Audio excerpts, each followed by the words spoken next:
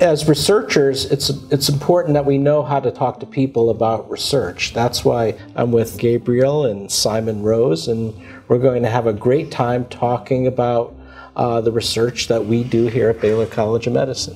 What type of research do you normally do?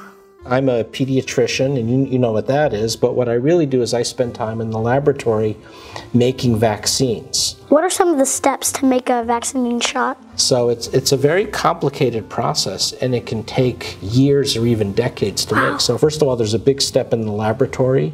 We use a lot of techniques that involve molecular biology and immunology and fermentation technology. But then even after you make it, you have to test to make sure that it's safe and that it actually works. And what are also the steps to becoming doing vaccines or uh, be- becoming a scientist that makes Yes. vaccines. So it requires a lot of years in school. But you know, as as a scientist and as a professor, I'm still learning every day. So every day, I'm reading and learning, and I love learning new things. And that's that's one of the fun things uh, about what I do. Are there some vaccines that can make you more sick or that are more dangerous than getting not getting the shot altogether? Well, no, because then we wouldn't make it, right? But there, are, I mean, some vaccines do have side effects.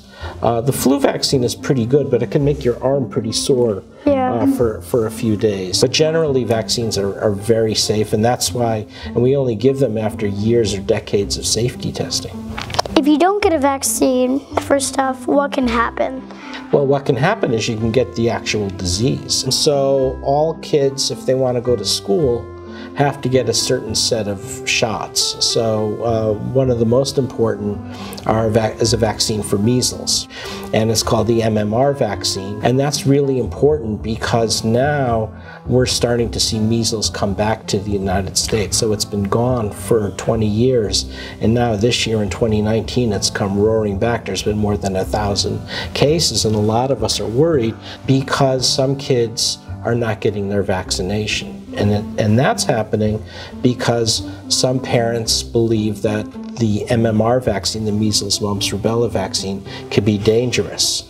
And, uh, and it's absolutely not true. So that's why it's really important that you listen to your pediatrician, your parents listen to your pediatrician, and get those vaccines because they're safe and they're very effective. We don't want to see any of these diseases come back. And you know what?